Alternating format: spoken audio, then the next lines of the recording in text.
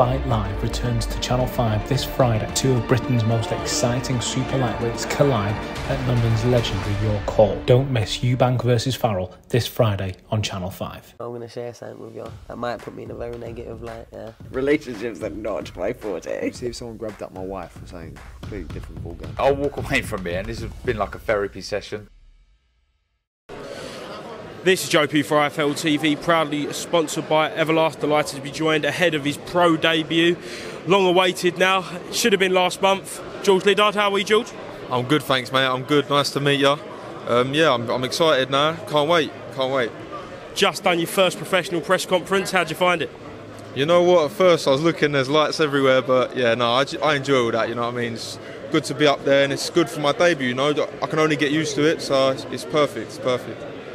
You was meant to be on the Eubank Benn card, and uh, a month, two months later, you're on another big, big card. Dillian Whyte's come back against Jermaine Franklin. What's that like to get a big opportunity in a big arena for your first fight? You know, I'm really excited. I can't wait to have such a big opportunity to perform in front of so many people. It, it, all I can do is showcase my skills, and I'm, I'm really, really looking forward to it. All the hard work's been put in now, so it's time to enjoy. So you're 20 years old, is that right? So you're still young hungry in the game, been training under Kevin Mitchell and Tony Simms in that matchroom gym. What's that like to be surrounded by so many champions, fringe level contenders, but you've also now got the likes of yourself, Jordan Flynn, Maisie Rose, who are coming up that new young crop?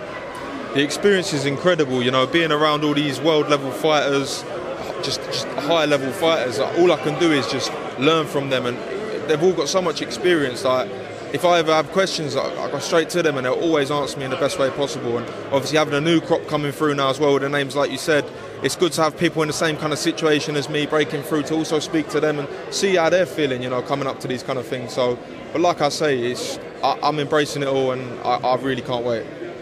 I take it being in that gym, you're getting some higher level sparring. Just to go through some of the names you've been in with in preparation for your first fight. Obviously, you got Felix Cash, world level middleweight, John Ryder, world level super middleweight, actually challenging for, a, I believe it's the WBO interim title soon. Um, you've got Craig Richards, who's also on this card, challenging for another title. Uh, been mixing it with him every week as well. Um, I'm trying to think. Mixed it with Connor a while back as well before in preparation for the last fight.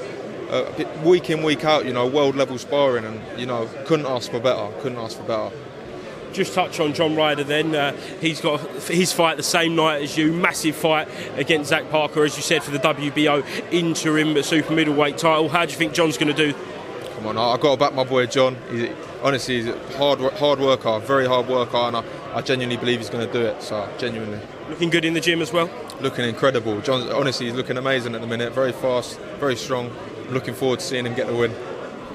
Excellent. So back to you. What can we expect from you on Saturday night, style-wise? Uh, who do you kind of base yourself off of? I don't really base myself off of anyone in particular. Um, I watch all different styles, and I think I think I genuinely have a bit of every single style. Um, I've got fast hands, power in both hands. I, I, think you can look for a very exciting performance, and I, honestly, when I say it's, it's going to be a good performance, I, I put in the work for this for you know obviously meant to box in October, so I had a long camp for that and then now even longer camp, I've been grafting. I've been grafting, and you're going to see all the work I've been putting in the gym. Yeah, it's come a little bit later than you wanted, but surely going into 2023, you're going to be wanting as much activity as possible. Definitely, definitely. Obviously, I'll take one fight at a time, but to stay as active as I can, that'd be perfect for me. Um, and just yeah, just work my way up, build my way up, and you know, fight by fight, I'm sure you'll see better and better me. Excellent, George. Thank you very much speaking to IFL TV today. Anything else you'd like to add? Yeah, lovely. Thanks very much for the interview, mate. Um, I was going to say, I just want to say a big thanks to my sponsors who have helped me along the way Contract Limited, Essex Cryo Wellness, and to everyone coming out to watch me and who are going to be watching me live on YouTube. Thank you very much. Cheers. Excellent. Best of luck on Saturday night. Thank you. Cheers. Sweet, yeah?